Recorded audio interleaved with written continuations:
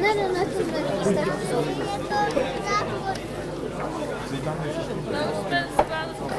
Osmi dostupce na společnosti Vyškazení práce za podpory společnosti Elektrovasury byl odstartován první proutěná překážka Hudson Canyon. Tuto překážku překonal jako první, za ním potom Loretis z vnějšku, mezi nimi Dakar a Dancer na bariéře Vinero, dále Rubicon a pole uzavírá Valdo Pepper.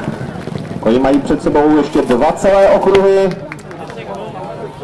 Hudson Canyon ve vedení, Vinero na druhém místě, dále potom Dodo Dancer a Dakar, Rubicon, Loretis a Valdo Pepper stále pole uzavírá. Na začátku protilehlé rovinky ve vedení Hudson Canyon v sedle má žuky Jana Kratochvíla, který když ten dnešním osmém dostu vyhraje, tak potvrdí svou vedoucí pozici v překážkovém šampionátu a stane se tak letošním šampionem na překážkách. Ale nepředjímejme, zatím oni mají před sebou ještě téměř 1,5 okruhu. Hudson Canyon v čele, Vinero na bariéře na druhém místě, Dakar z vnějšku třetí, když v tuto chvíli na skoku se posouvá na druhé místo a odsouvá Vinera na třetí pozici. Dále potom Dodo Dancer, z vnějšku je tam Loretis, dále Rubicon a pole uzavírá Valdo Pepper. Hudson Canyon stále ve vedení. Hudson Canyon na první pozici, Dakar druhý. Dále Vinero a Loretis, Nebo Valdo Pepper. Pepper může vyhrát. Rubicon, Dodo Dancer a Valdo Pepper. Koně po druhé překonali překážku na začátku cílové rovinky. Mají ještě před sebou zhruba 1600 metrů v čeldostihu. Je Hudson Canyon a Dakar, to je vedoucí dvojice. Dále Venero a Loretis, následuje Rubicon, který si hlídá pátou pozici.